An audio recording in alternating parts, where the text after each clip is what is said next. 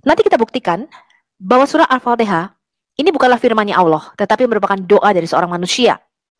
Seperti argumen daripada Ibn Masud. Dikatakan di ayat pertama, dengan nama Allah yang maha pengasih, maha penyayang.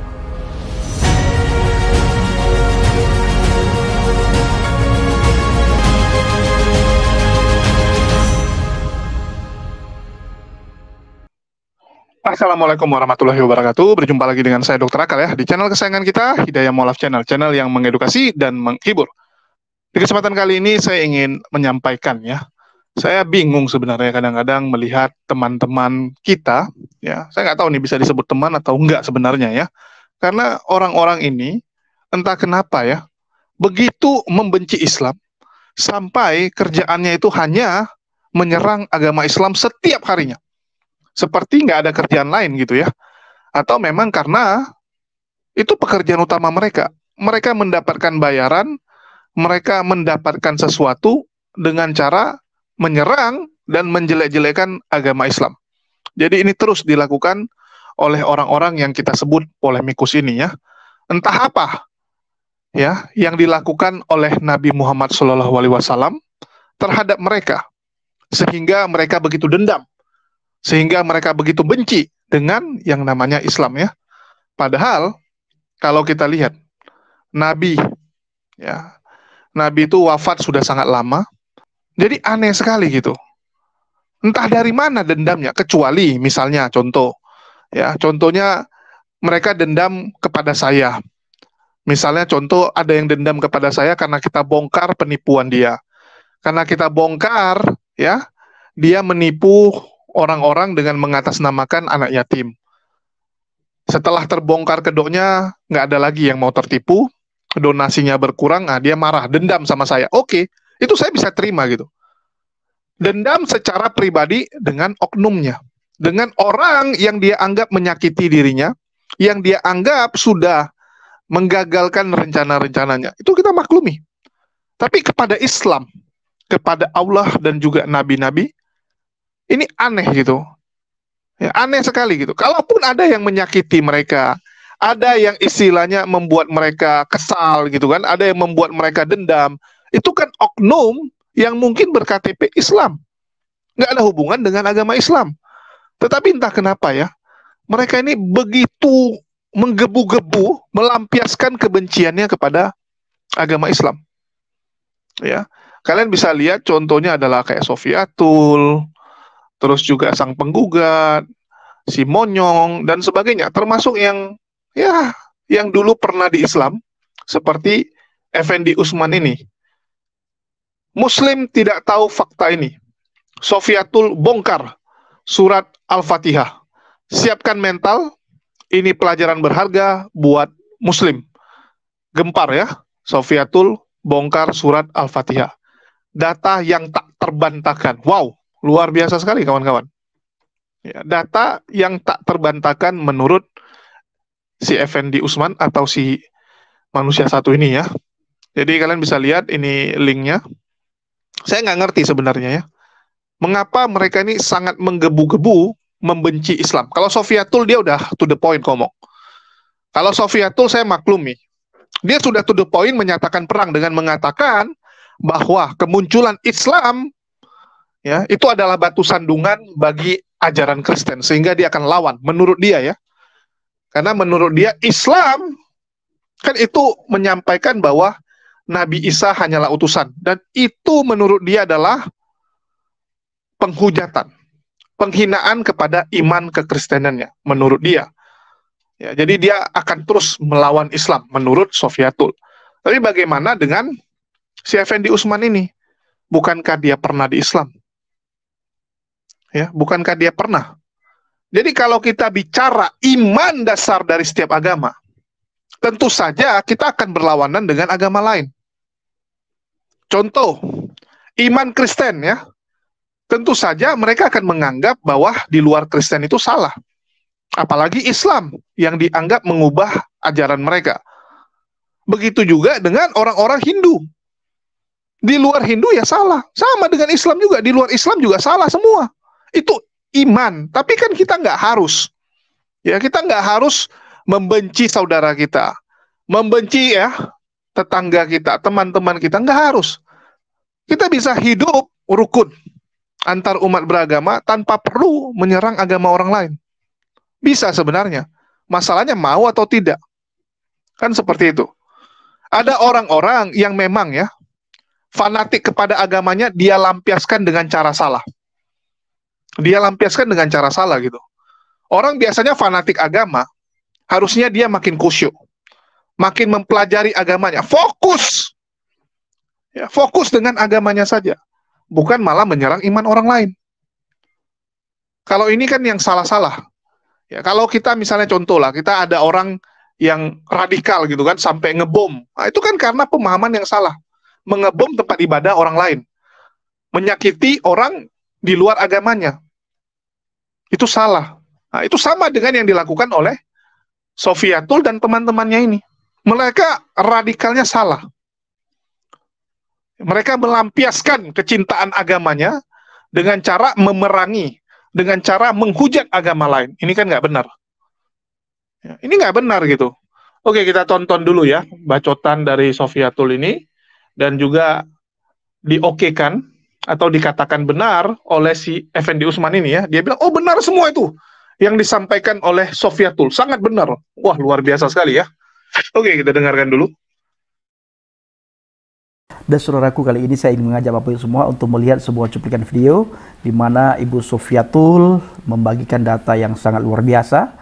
Uh, dan kita ketahui sama-sama Ibu Sofiatul sangat dibenci oleh para polemikus dari RT 0666 karena setiap data yang Ibu Sofiatul tampilkan tidak bisa satupun dibantah oleh para polemikus dari RT 0666. Akhirnya mereka hanya bisa memfitnah, memfitnah, dan memfitnah. Akhirnya Bapak Ibu timbullah uh, dari pihak RT 066 mereka mengatakan kalau Ibu Sofiatul penistaan agama ya. Selalu senjata mereka yang paling ampuh itu adalah penistaan agama. Sementara dari pihak mereka yang begitu jelas menghina, mengolok-ngolok, menertawakan, mencemooh Alkitab, kita tidak pernah mengatakan penistaan agama. Sekalipun kita katakan penistaan agama, toh tidak pernah uh, diproses secara hukum.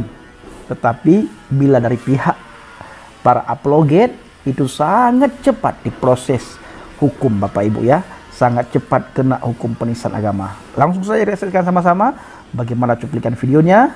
Siapkan kertas dan pulpen saudara untuk mencatat setiap apa yang menurut saudara paling penting uh, dari pembahasan Ibu Sofiatul. Mari kita lihat sama-sama Bapak Ibu. Halo apa kabar teman-teman? Sekarang kita sudah sampai pada seri keempat dari Islamologi kita. Kita akan membahas mengenai surat Al-Fatihah. Kita akan menjawab mengenai Bible of Bible. Dan kita akan membuat seri Quran of Quran.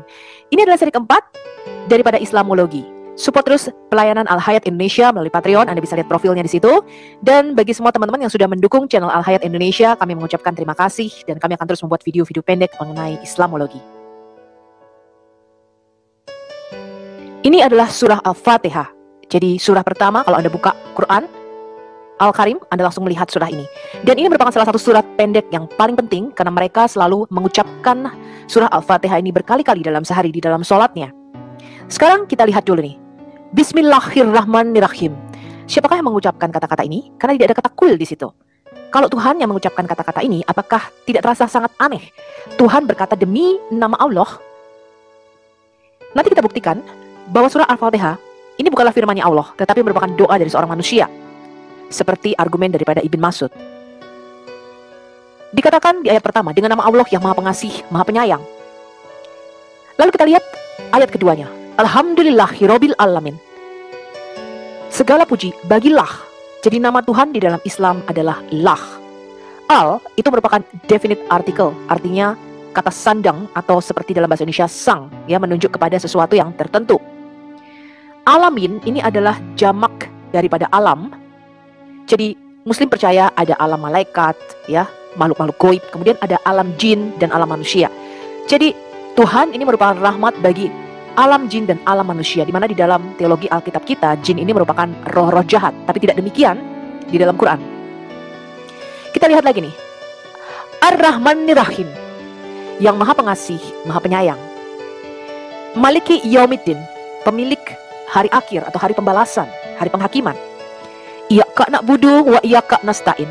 Hanya kepada engkaulah kami menyembah dan hanya kepada engkaulah kami mohon pertolongan. Istina sirotol mustaqim. Tunjukilah kami jalan yang lurus. Sirat ini bukanlah bahasa asli Arab, tetapi merupakan bahasa Persia. Seperti kata serata, kemudian strata dalam bahasa Latinnya, kemudian street dalam bahasa Inggris yang artinya jalan. Ya, seperti yang kita lihat dalam bahasa Inggris sekarang ini. Kemudian, kata-kata terakhir di dalam ayat ini, Siratal lazina an amta alakhim gairil makdubi alakhim walak dalin, yaitu jalan orang-orang yang telah engkau beri nikmat kepadanya. Bukan siapa? Bukan mereka yang dimurkai dan bukan pula mereka yang sesat. Dari semua tafsir Islam, ya kalau kita baca Ibn Kathir, lain, mereka mengatakan siapa sih yang dimurkai oleh Allah di sini adalah orang-orang Yahudi. Dan siapa yang disesatkan adalah orang-orang Nasrani atau orang-orang Kristen. Jadi satu hari 17 kali muslim berdoa, Tuhan, Tuhan jangan jadikan kami seperti orang-orang Yahudi dan orang-orang Kristen kata mereka. Jadi setiap hari mereka mengutuki orang Yahudi dan orang Kristen. 17 kali minimal di dalam doa mereka. Alhamdulillah. Surah Al-Fatihah ini merupakan surah yang sangat penting ya, yang selalu diulang-ulang dibaca dalam sehari oleh muslim. Kita lihat dulu nih, Quran Surah Al-Hijr, surah ke-15 ayat 87. Dan sungguh kami telah memberikan kepadamu tujuh yang diulang-ulang dan Quran yang agung atau bacaan yang paling agung. Jadi dikatakan di sini Allah mengatakan dia memberikan tujuh ayat yang dibaca berulang-ulang dan Muslim mengatakan ini merujuk kepada Al-Fatihah.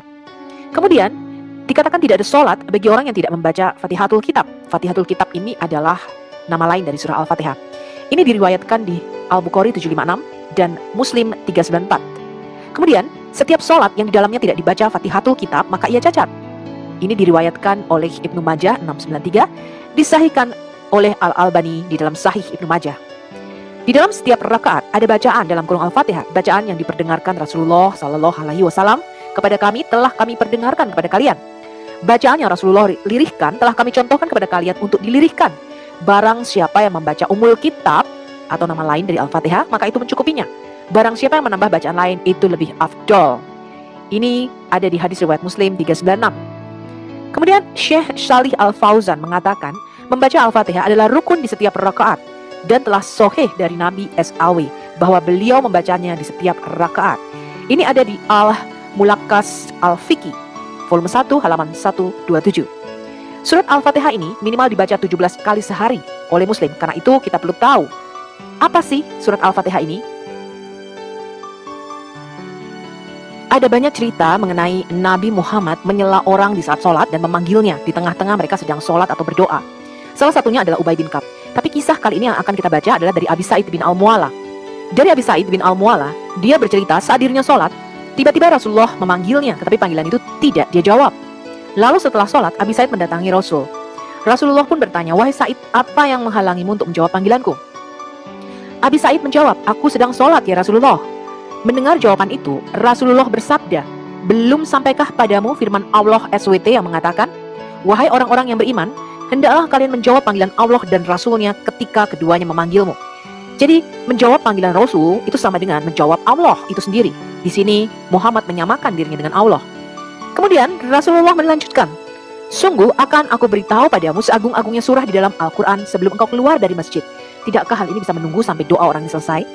Mengetahui itu, Abu Said langsung memegang tangan Rasulullah saat beliau hendak keluar dan berkata, Wahai Rasulullah, sesungguhnya engkau tadi berkata akan memberitahukan kepadaku surah yang paling agung di dalam Al-Quran. Rasulullah menjawab iya, dan itu adalah surah Alhamdulillahirobbil Alamin atau surah Al-Fatihah yang dinamai Sabul Masani dan juga Al-Quranul Azim. Sekarang kita lihat nama lain dari surah Al-Fatihah. Arti harafiah atau literal dari Al-Fatihah adalah pembukaan ada banyak nama lain yang diberikan kepada surah ini berdasarkan riwayat dan kitab-kitab Islam, yaitu Fatihat ul Kitab atau pembukaan kitab, Umul Kitab, induk kitab, Umul Al-Quran atau induk Quran, Sabul Matani, tujuh ayat yang diulang, Al-Wafiyah, sempurna, Al-Kafiyah mencukupi, Asyik Syafiyah, penyembuh, Asyik Syifa, obat, Al-Asas, pondasi, As-Salah atau solat, Al-Hamad, pujian bagi Allah, Al-Kans, harta karun, Wakiyah, perlindungan, Al-Azaz, pokok, Nur, terang, Kemudian Al-Quran Al-Azim, bacaan yang mulia, Ar-Ruqyah atau mantra, Ashisyukru atau syukur. Jadi bacaan yang diulang-ulang ini disebut mantra untuk mengusir setan, ya, kemudian untuk menyembuhkan, ya, mengusir jin-jin. Mereka menggunakan surah Al-Fatihah ini. Sudah diketahui secara luas bahwa surat pembukaan ini Al-Fatihah berdasarkan latar belakang wahyu yang diturunkan ternyata tidak dimasukkan oleh Ibn Masud di dalam koleksi mushafnya. Surah yang paling diagungkan Islam ini justru tidak punya silsilah kapan dan di mana dia diturunkan Allah kepada Muhammad atau diturunkan setelah surah yang mana juga tidak diketahui dengan pasti. Para pakar kita ada yang berspekulasi bahwa surat ini termasuk surat Makiyah. Ini pakar Islam ya. Tetapi ada juga yang mengakuinya sebagai surat Madaniyah Lihat berbagai ensiklopedia Islam atau mukadimah terjemahan Quran oleh Muhammad Rifai. Ibn Al-Azhar secara kuat memastikan 20 surat Madaniyah dan 82 surat Makiyah dan menyisakan 12 surat yang dipertentangkan Maki Madaniyah. Di mana salah satunya adalah surah Al-Fatihah. Kita lihat Al-Itqan fi Ulum Al-Quran, buku besar peradaban Islam oleh Jalaluddin Asuyuti, volume 1 halaman 4445. Bahkan malahan yang justru bikin bingung, ada yang meyakini surah ini diturunkan di Mekah maupun di Madinah, di kedua tempat tersebut. Sedangkan sejumlah ulama, termasuk Syekh Alamah Tabatabai, malahan mengatakan surat istimewa itu telah diturunkan berulang-ulang, ya di Mekah, ya di Madinah.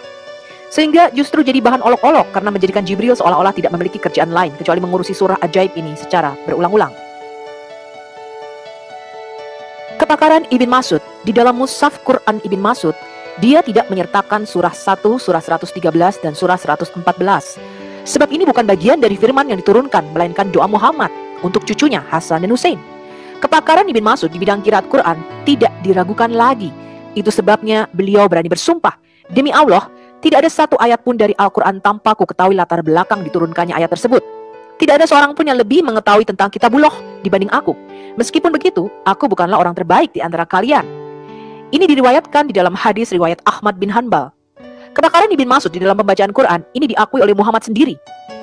Dikatakan telah menceritakan kepada kami, Hafs bin Umar telah menceritakan kepada kami Syubah dari Amru, dari Ibrahim, dari Masruk.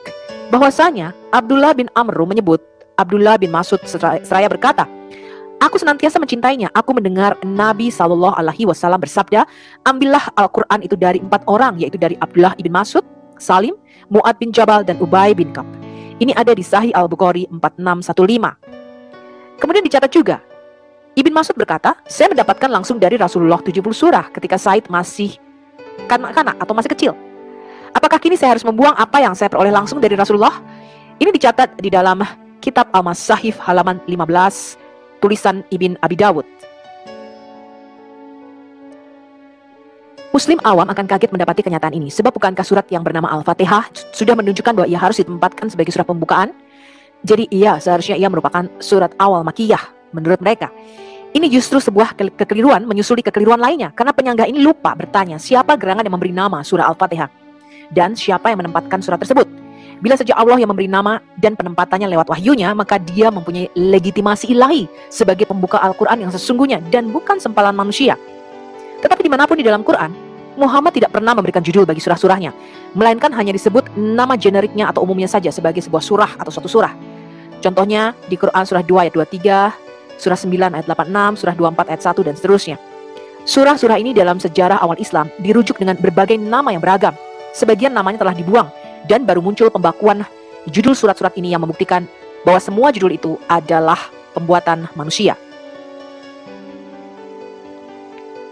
Adalah merupakan suatu hal yang pasti bahwa nama-nama yang diberikan kepada surah-surah itu bukanlah bagian dari Quran. Tidak jelas kapan munculnya nama-nama surat yang beragam itu. Sekitar pertengahan abad ke-8 dapat dipastikan bahwa nama-nama surah yang beragam itu telah memasyarakat. Hal ini Anda bisa baca di Taufik A-Amal, Rekonstruksi Sejarah Al-Quran, halaman 211-212. Contohnya, surah Muhammad itu tadinya bernama surah Al-Qatil atau surah peperangan. Adanya keraguan akan pewahyuan surah Al-Fatihah ini sungguh didukung oleh segudang fakta historis. Antara lain menyangkut hal-hal berikut ini. Yang pertama, surah Al-Fatihah ini tidak mempunyai pijakan asal-usul dan sebab musabab pewahyuannya. Atau walaupun ia yang sekalipun dianggap surah paling terhormat, namun muncul begitu saja tanpa silsilah. Yang kedua, tanpa kronologi yang jelas sehingga tidak diketahui kapan ia diturunkan dan di mana. Bahkan tidak ada indikasi ia diturunkan setelah ayat atau surah apa. Yang ketiga, tanpa legitimasi ilahi dalam tata letaknya sebagai umul kitab, Al-Kafiyah, Al-Asas, dan sebagai surah pertama, sebab bukan Muhammad yang menetapkannya di sana. Pernahkah Nabi menetapkan letakkanlah surah Al-Fatihah sebagai surah pertama dari semua Quran yang terkumpul? Yang keempat, tanpa saksi mata dari saksi mata. Sebab siapakah yang sudah membacanya sebagai wahyu sebelum hijrah? Al-Fatihah hanya diketahui muncul ketika liturgi Islam dibakukan di dalam tradisi sholat setelah Mi'raj dan hijrah ke Madinah.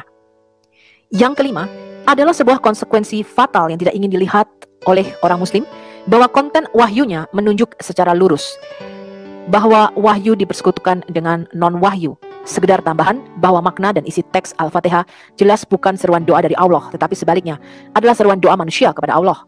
Namun menurut kepercayaan muslim, semua Quran adalah ucapan Allah sebagaimana seluruh kalimat Quran itu adalah seruan Allah. Jadi bagaimanakah memahami hal ini? Simaklah bahwa Allah tidak menyertakan kata kul atau katakan hai Muhammad ke dalam surah Al-Fatihah ini, khususnya ayat 5 dan 7 yang jelas-jelas memperlihatkan dia hanyalah sebentuk doa dari manusia, bukan kata-kata verbal dari mulut Allah. Bukankah penandaan kata kul ini sudah dibakukan secara khusus dan sudah diserukan oleh Allah sendiri sebanyak 332 kali kata kul ini ada di seluruh Quran? Maka mungkinkah surah Al-Fatihah akan dilalaikan dari satu kata kul? Bila mana Allah menginginkan kalimatnya itu diulang oleh Muhammad, Kata seruan itu mutlak diperlukan demi menjaga agar firmannya jangan sampai dipersekutukan ke dalam firman manusia. Kesalahpahaman antara Nabi dan sahabatnya tentang keberadaan ayat-ayat itu bisa saja terjadi dan tampaknya hal ini terluput dari catatan sejarah. Salah paham sejenis ini khususnya mudah terjadi untuk bentuk bacaan doa pendek dari Nabi yang lalu dianggap sebagai kalimat wahyu. Karena kebetulan bacaan itu bertema doa, diucapkan oleh Nabi secara sakral dan transenden dalam situasi doa dalam suasana demikian, kalimat-kalimat yang berkarakter seperti itu juga mungkin diaktualkan sebagai wahyu mistis, larger than life oleh Muhammad ataupun para sahabatnya, entah sengaja atau tidak, ini sudah mereka terima bersama. Dan itu agaknya dipenuhi sebaik-baiknya kalau kita melihat surah 1, surah 113 dan 114 yang memang semuanya adalah wujud-wujud doa yang pekat, yang agak puitis, lengkap dengan nuansa pemujaan dan penyembahan. Oke, kalau kita lihat sekarang asbabun nuzul atau sebab-sebab ayat Al-Fatihah ini diturunkan, ini dicatat oleh Al-Wahidi. Anda bisa baca referensinya di altafsir.com. Asbabul nuzul oleh Al-Wahidi. Bagaimana surah Al-Fatihah ini diturunkan? Ada beberapa ketidaksepakatan ilmiah tentang surah ini, yaitu tentang di mana surah ini diwahyukan. Namun mayoritas berpendapat hal ini diturunkan di Mekah, salah satu dari surah Al-Quran pertama yang diturunkan. Kalau menurut urutan turunnya wahyu, maka ini adalah wahyu kelima yang diberikan kepada Muhammad. Kemudian dikatakan di situ, Abu Utsman Said ibn Muhammad ibn Ahmad al Said memberitahu kami kakeknya Abu Amr al Hir, Ibrahim ibn al Harith dan Ali ibn Sal ibn al Mugiroh yang berkata, Yahya ibn Abu Bukair memberitahu kami Israel Abu Ishak Abu Masyarah atau Amir ibn Surahbi berkata, Rasulullah SAW Allah berdoa baginya dan memberi dia berkat. Setiap kali dia keluar buang hajat, biasa mendengar seseorang memanggilnya Oh Muhammad. Dan setiap kali dia mendengar ini, dia selalu melarikan diri. Jadi ketakutan, ya, karena ada suara nih yang didengar oleh Muhammad ketika dia keluar buang hajat. Waraqah bin Naufal menasihati Nabi untuk tetap di tempatnya ketika suara itu memanggilnya sehingga dia mendengar apa yang harus dia katakan kepadanya. Maka ketika dia keluar buang hajat, dia mendengar seruan, "Oh Muhammad." Kemudian Muhammad berkata, "Ini aku, siap melayani Anda." Suara itu berkata, "Katakan, aku bersaksi bahwa tidak ada Tuhan selain Allah dan aku bersaksi bahwa Muhammad adalah utusan Allah. Kemudian dia berkata, katakan dalam kurung Alhamdulillah Tuhan semesta alam yang pemurah, maha penyayang, pemilik hari penghakiman, dan seterusnya. Jadi kemudian Allah membacakan surah Al-Fatihah ini dan dia membaca sampai akhir pembukaan kitab. Ini juga pendapat Ali bin Abi Talib. Abi Ishak Ahmad ibn Muhammad, komentator Al-Quran memberitahu kami, Al-Hasyan ibn Jafar, komentator yang berkata, Abu Hasan ibn Muhammad ibn Mahmud Al-Marzawi, Abdul Allah ibn Mahmud Al-Sadi, Abu Yahya Al-Kasri Marwan ibn Muawiyah, Al-Ala ibn Al-Musyayab, Al-Fudail ibn Amar, Ali bin Abi Thalib yang berkata, pembukaan kitab telah diturunkan di Mekah dari harta di bawah arshinya Allah katanya. Dan melalui rantai transmisi yang sama, Al-Sadi yang berkata, Amir ibn Sali memberitahu kami ayahnya Al-Kalbi Abu Sali ibn Abbas yang berkata, Nabi SAW berdiri sekali di Mekah dan berkata dengan nama Allah yang maha pemurah lagi maha penyayang, Puji bagi Allah, Tuhan semesta alam. Orang-orang Quraisy berkata, semoga Allah memukul mulutmu atau semacamnya. Hal ini diceritakan oleh Al-Hasan dan Katadah. Namun menurut Mujahid, pembukaan kitab itu terungkap di Medina. tentang pendapat ini, Al-Husain Ibn Al-Fadi berkata, setiap ulama memiliki kesalahan dan ini adalah salah satu kesalahan dari Mujahid karena dia adalah satu-satunya ulama yang memegang pendapat ini sementara semua ulama lainnya tidak setuju dengannya. Kalau kita mendengar cerita tadi bagaimana surah Al-Fatihah ini diturunkan, Muhammad menerimanya saat buang hajat, dia mendengar suara, "Oh, Muhammad." Ini kalau kita lihat di Alkitab seperti ceritanya Samuel kecil ya, ketika dia mendengar suara Tuhan memanggilnya, "Samuel, Samuel." Tetapi ketika Samuel mendengar ini, dia tidak sedang buang hajat, melainkan dia sedang tidur di dalam bait sucinya Tuhan. Nah, mungkin inilah yang menyebabkan mengapa Muhammad mengatakan kepada kaum muslimin, kalau kamu buang hajat, kamu harus berdoa supaya dijauhkan dari setan-setan. Karena dia ketakutan, ada jin-jin ya ketika dia buang hajat. Kita lihat dulu nih, doa saat buang hajat. Di antara adab-adab yang dituntunkan oleh syariat Islam kepada kaum muslimin adalah membaca sikir-sikir tertentu ketika memasuki WC dan keluar darinya. Bahkan harus dengan kaki kiri ketika mereka masuk ke WC. Dan mereka tidak boleh ya memegang alat kelaminnya, mencucinya dengan tangan kanannya. Ya, adab ini sangat sesuai dengan kondisi dan tempat. Rasulullah SAW telah mengajarkan kepada kita doa ketika buang hajat atau masuk ke WC. Ya, doanya seperti ini teman-teman. Bismillah Allahumma inni audzubika minal kupsi wa kabaits. Artinya dengan menyebut nama Allah, Ya Allah sesungguhnya aku berlindung kepadamu dari segala gangguan setan laki-laki maupun perempuan.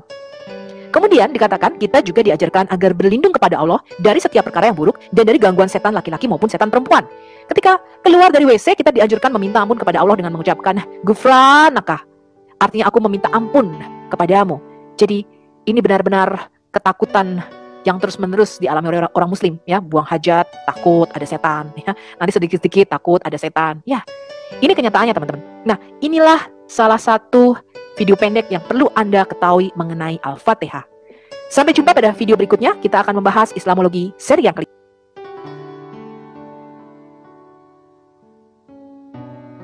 Nah, saudaraku dikasih Tuhan, para pencinta channel Jalan Baget, bagaimana tanggapan Bapak Ibu setelah melihat cuplikan video yang baru saja saya putarkan? Saya berharap melalui video ini Bapak Ibu dapat uh, pencerahan yang baru, sekaligus dapat memberikan kekuatan serta meneguhkan iman percaya kita kepada Yesus.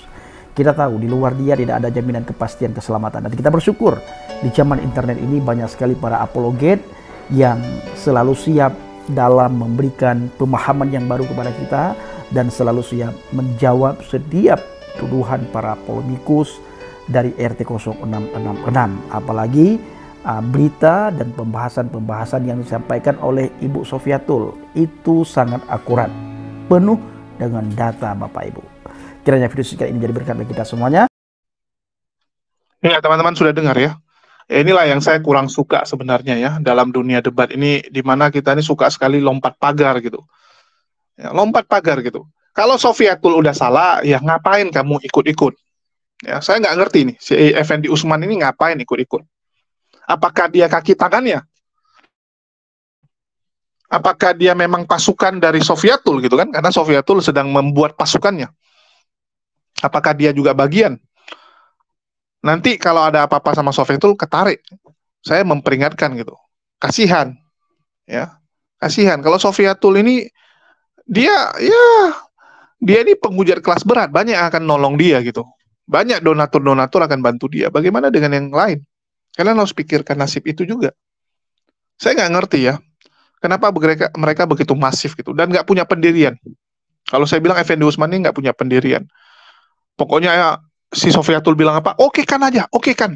Wah, karena bagi mereka itu kan Sofiatul ini seperti dewi gitu kan. Dewi perang yang mewakili polemikus-polemikus. Jadi, kenapa lah harus seperti ini? Cobalah saya tanya teman-teman. Terutama teman-teman Kristen yang nonton ini. Kamu cakar saya, nanti dibalas ya. Kamu colek orang dibalas. Nanti kan terakhir ujung-ujungnya ribut. Ujung-ujungnya ribut gitu. Betul tidak? Ya. Kalau tidak mau dicolek ya jangan colek orang. Terus ada yang bilang, oh kalian yang mulai, jejak digital kalian yang mulai gitu kan. Dokter Jakir naik duluan di luar gitu. Nanti ditarik lagi, dokter Jakir naik, ya mengatakan yang duluan sana. Disebutkan namanya, disebutkan lagi, disebutkan lagi, nggak selesai selesai kawan. Dendam ini nggak akan selesai kalau kita nggak mau memutusnya. Biarkanlah orang-orang ya yang udah kadung basah itu ya udah biar aja mereka. Kita nggak usah ikut-ikutan basah.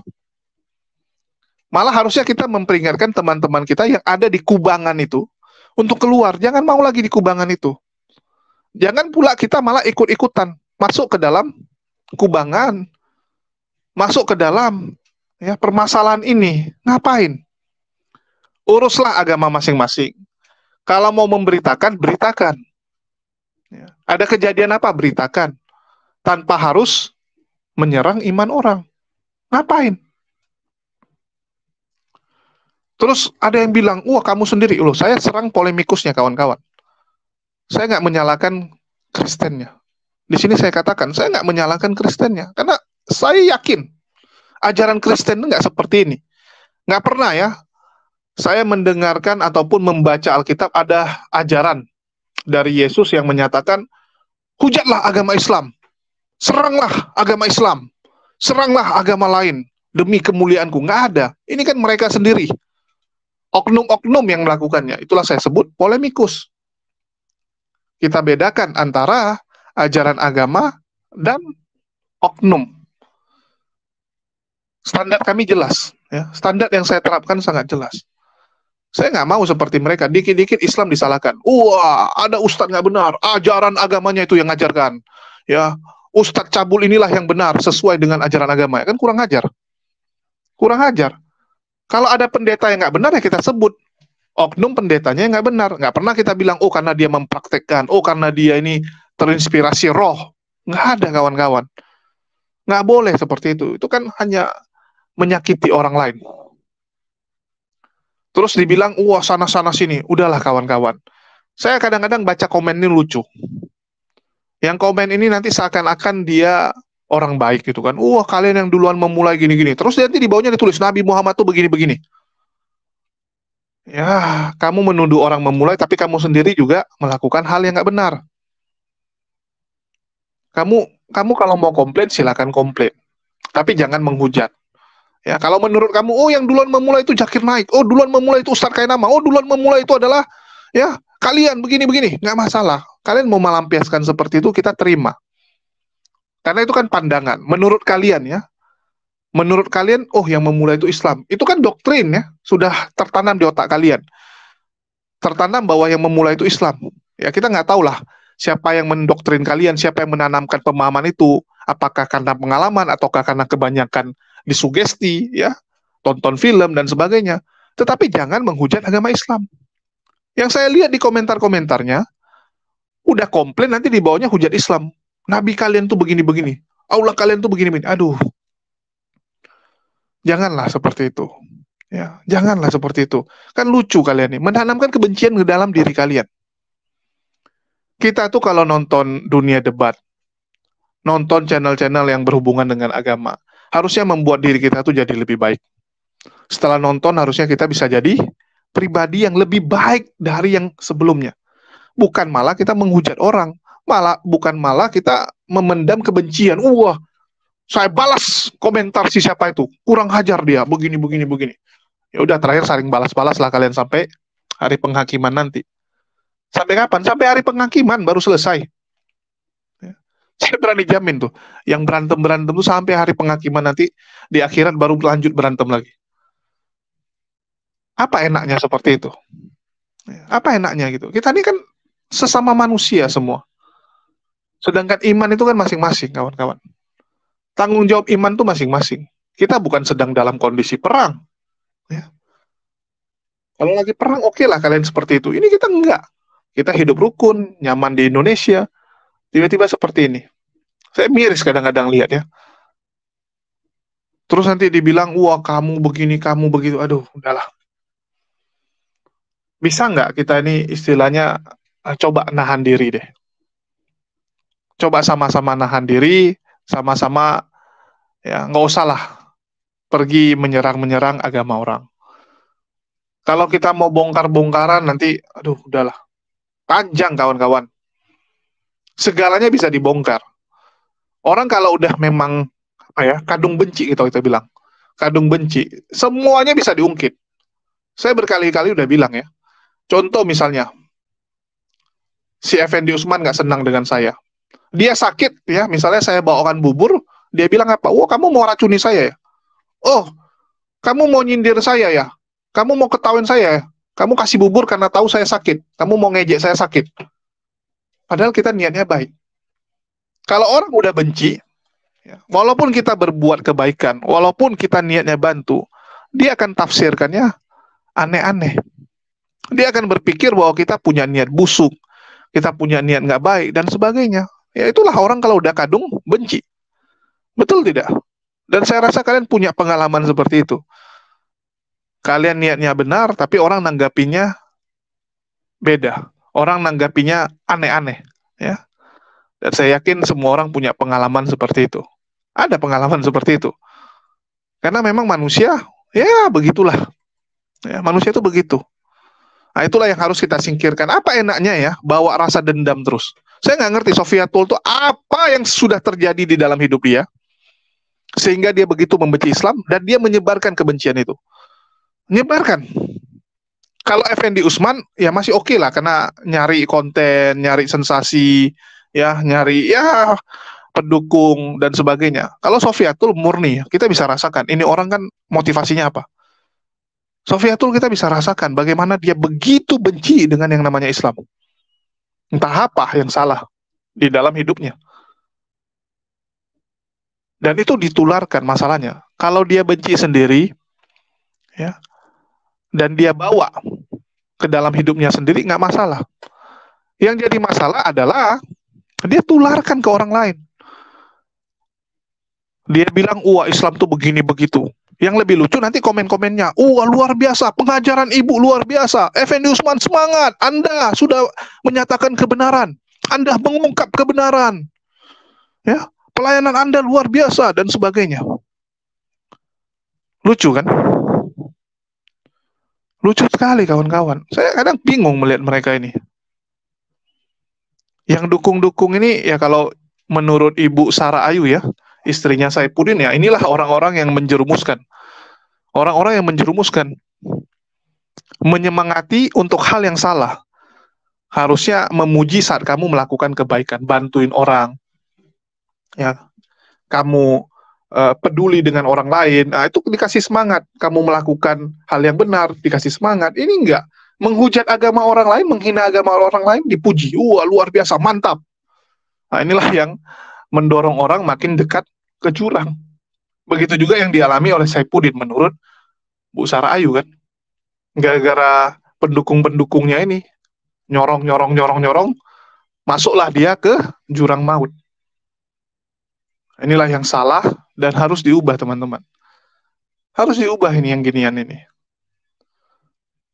Dan sekali lagi ya saya katakan ya kita nggak ngerti lah kenapa mereka begitu benci, tetapi saya berharap para penonton, ya, terutama dari non Muslim bisa menasehati dengan cara yang benar, ya bisa menasehati mereka-mereka ini.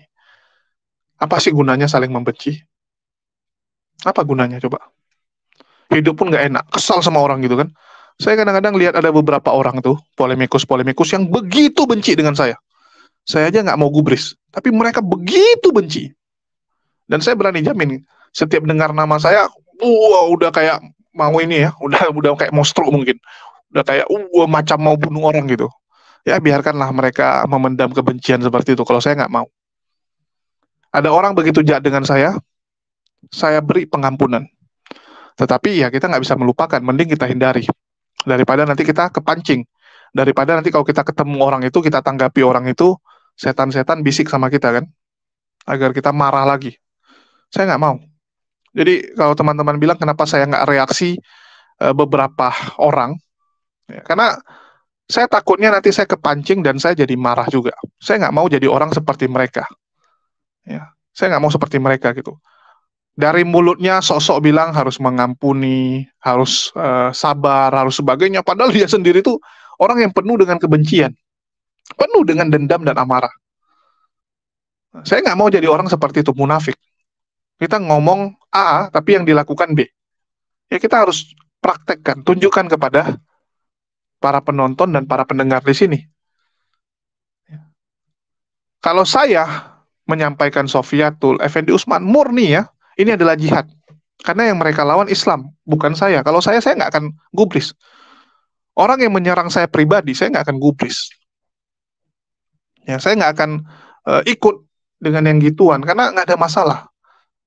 Anda mau fitnah saya, mau jelek-jelekan saya, itu hal yang biasa. Tapi kalau Anda menyerang Islam, mohon maaf, saya akan lawan. Dan itu nggak ada dendam pribadi ya. Kita nggak ada dendam-dendam pribadi. Karena kita sedang berjihad. Jadi kalau saya harus menanggapi orang yang membenci saya, yang fitnah-fitnah saya, ngapain? Mending saya meluruskan fitnahan orang-orang yang menghujat Islam. Saya berkali-kali udah sampaikan ya, bagaimana Ali, ya Sayyidina Ali, itu nggak jadi memenggal karena dia diludahi. Karena dia nggak mau. Dia memenggal orang ini lantaran kebencian dia. Dia mau, kalaupun dia memenggal, ya itu karena orang ini menyerang Islam, memusuhi Islam.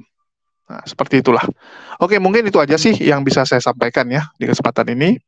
Makasih buat teman-teman semua yang sudah mendukung channel ini dan terima kasih sekali ya buat teman-teman yang dari kemarin sudah mendoakan saya ya dari beberapa waktu yang lalu terus-terusan mendoakan saya, menyemangati saya, bahkan ada ya yang sampai uh, mau menyisikan rezekinya untuk membantu permasalahan yang sedang saya hadapi ya. Ada beberapa orang yang benar-benar uh, luar biasa sekali mau menyisikan rezekinya untuk mentransfer ya mentransfer sebagian uang tersebut ke nomor rekening yang ada di bawah ini. Makasih buat pertolongan kalian dan makasih buat teman-teman yang terus mendoakan saya.